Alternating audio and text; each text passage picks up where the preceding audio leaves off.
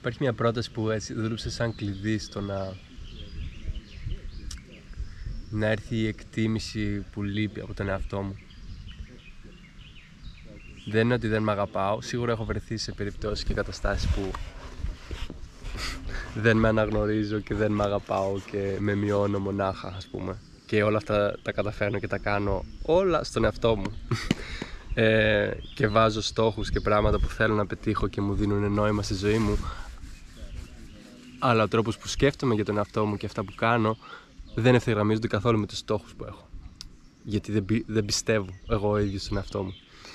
ε, και εδώ είναι που αυτή η πρόταση το οποίο προέρχεται από ένα ποίημα και θα το διαβάσω τώρα και έχει να κάνει με το ότι στην ουσία το ίδιο μας το φως και όχι το σκοτάδι μας είναι αυτό που μας φοβίζει περισσότερο. Ε, και για μένα αυτό σημαίνει ότι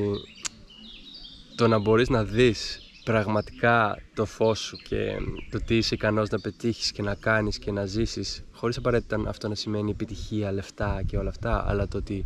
είσαι πραγματικά ικανός να ζήσεις μια ζωή όπως την ονειρεύεσαι και φαντάζεσαι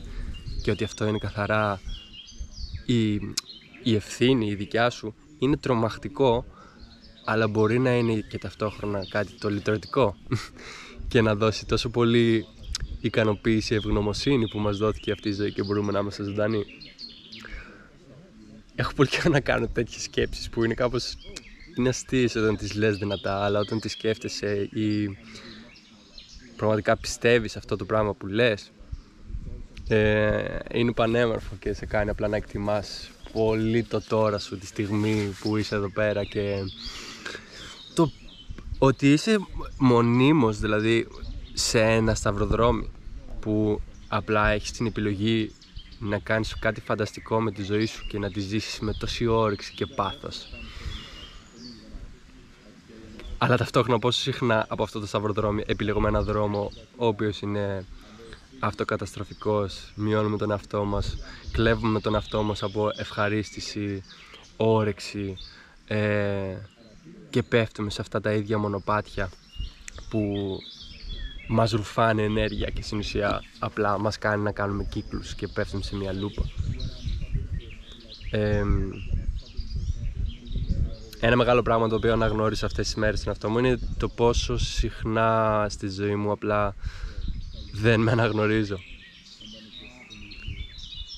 Και αυτό έχει πολύ ενδιαφέρον γιατί χθες κάναμε μια άσκηση που στην ουσία επισκεφθήκαμε τον παιδικό μας αυτό, βλέποντας βίντεο, φωτογραφίες και, και με το να σκεφτόμαστε γενικά το παρελθόν μας και το ποιοι ήμασταν στα παιδιά. Ε, και εγώ ήμουν ένα παιδί βάζοντας το και επικεντρωνώντας τις σκέψεις μου στο αρνητικό κομμάτι ήμουν πάρα πολύ ντροπαλός ε, χαμηλή αυτοπεποίθηση ε, πολύ ευαίσθητος, εύθραυστος. Ε, και από την άλλη θετική πλευρά ήμουνα τρομερά δημιουργικός. Ε, τρομερή φαντασία πολύ όρεξη για περιπέτεια. Ε, και δεν βαριόμουν ποτέ. Δηλαδή άσε με όπου θες, πέτα με όπου θέλεις και θα έβρισκα κάτι δημιουργικό, κάτι ωραίο να δημιουργήσω είτε σαν παιχνίδι με τη φαντασία μου είτε να δημιουργήσω κάτι με τα χέρια μου ή γενικά κρατούσα πολύ ψηλά το παιχνίδι ας πούμε. Και η άσκηση έχει να κάνει με το να φέρεις αξίες από τον παλιό σου εαυτό στο σημερινό σου που νιώθεις ότι σου λείπουν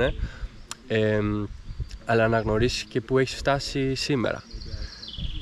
Και νιώθω πραγματικά ευγνώμων και ε, με έκανε να σκεφτώ απλά πάρα πολύ όμορφα για τον εαυτό μου καθώς έχω αντιμετωπίσει πάρα πολύ έντονα τους φόβους του να είμαι ντροπαλός, να έχω χαμηλή αυτοπεποίθηση και όλο αυτό το σύνολο των αρνητικών και έχω φτάσει απλά τρομερά μακριά στη ζωή μου, νιώθω και δεν χρειάζεται κανείς να μου το αναγνωρίσει. Αυτό μπορώ να το αναγνωρίσω στον εαυτό μου γιατί ήμουνα κάτι άλλο και σήμερα είμαι κάτι άλλο. Και είμαι κάτι για το οποίο είμαι περήφανος και χαρούμενος. Και αυτό είναι απίστευτο. είναι απίστευτο. Αλλά ταυτόχρονα μπορώ να αναγνωρίσω ότι υπάρχει κι άλλο εκεί μέσα.